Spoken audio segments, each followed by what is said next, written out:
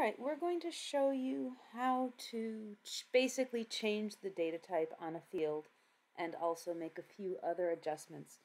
This is in response to the situation where you get some sort of table. It could be the attribute table to a feature class or a shapefile, or it could be a text file that you downloaded from the internet.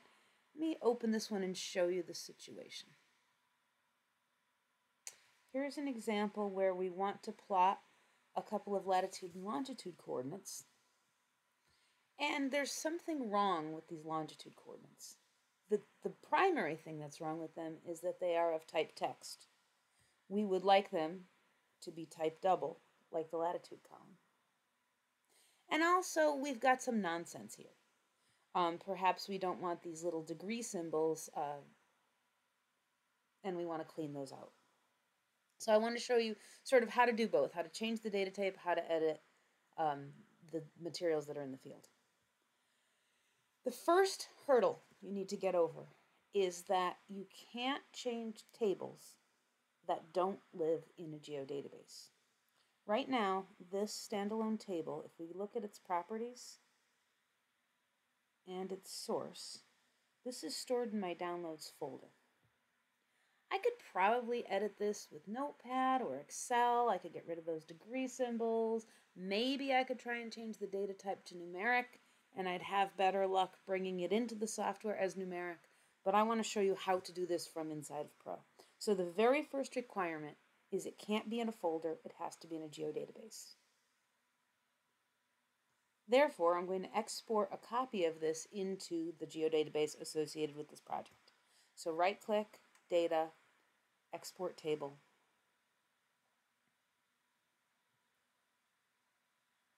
And I'll just put um, a copy here as a table in my geodatabase. You can do that.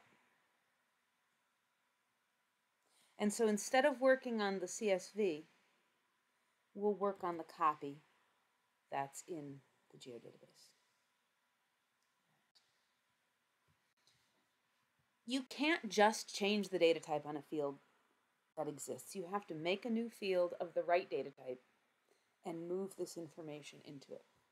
So to add a new field, you can either use the little add field um, shortcut here or in this three stripes menu, you can go to the fields view. Both of those bring you to the same place. And at the bottom of the fields view, there's an opportunity to add a new field. So I'll call this one longitude double. And I'll make its data type not long, but double. Whenever you add a new field, you need to save it. And the save button is way the heck up here at the top in the fields ribbon. So let's save our new field.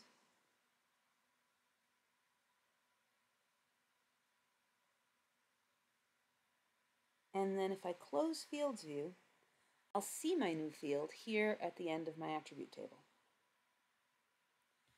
Theoretically, I can now just, I'm going to say copy, but it's not copy paste. It's going to be copy using the field calculator. I can copy these text values over into this field and they should just turn out, turn out as numbers. Let's give that a try.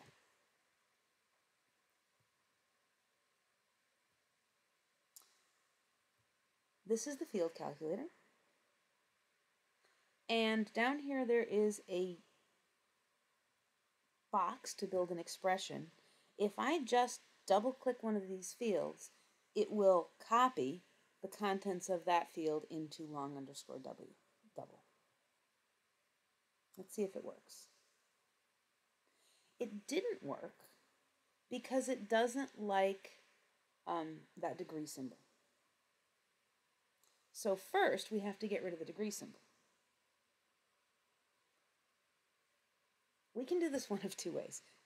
We can make a new text field and get rid of the degree symbol. Or technically, I could run a field calculation right on top of this existing field. That's a little bit of a high wire act. It's a little high risk because if we do it wrong, we could lose the stuff that's in here.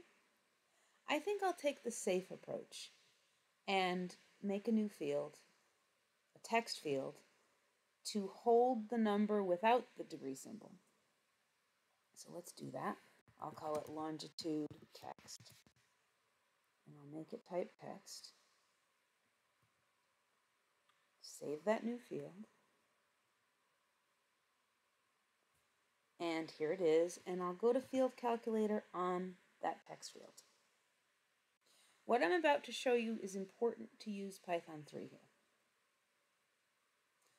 I'm still going to build a formula in this formula box. I'm still going to click on longitude and have it show up here.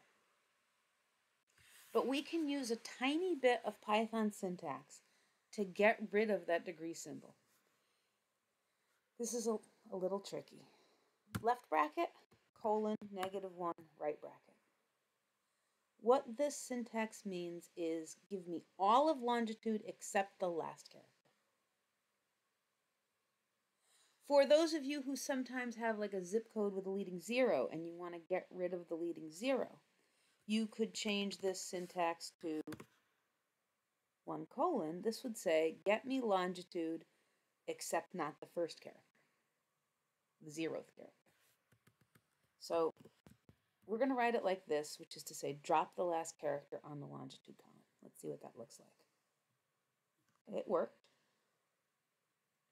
And now that these are numeric, I should be able to field calculate them into long double. Let's give that a try. Calculate field, and we'll copy long text into long double.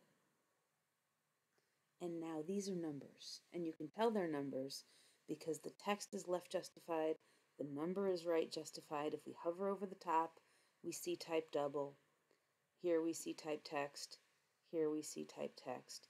And I could now plot these coordinates using display xy with long double as my numeric longitude.